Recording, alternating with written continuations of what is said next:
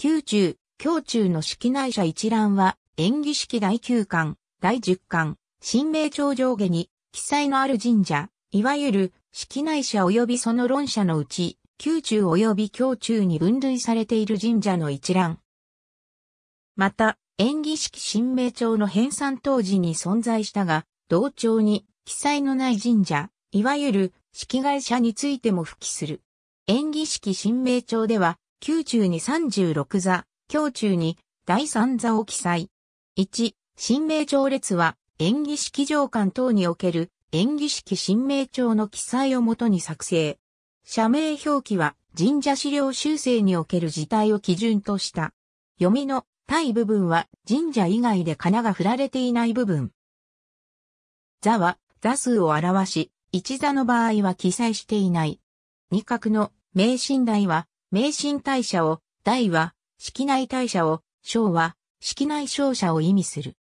付記は社名と共に記されているもので、一部は式内社式内社の社格を参照。三否定者が複数ある場合、最も有力なものを無関で示し、他の論者には、を関した。四本来の式内者とは認めがたいものの、式内者を合祀したなどその光景を主張するもの、その他参考の神社には、を関した。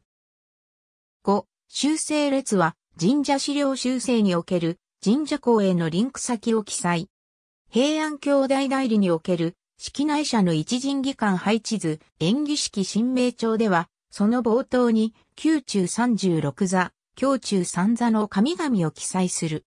演技式は、平安時代中期の成立になるため、宮中、胸中とはそれぞれ平安宮中、平安胸中を意味する。以下、各祭神について解説する。演技式新名帳の編纂当時に存在したが、同朝に記載のない神社。注釈原点出典。ありがとうございます。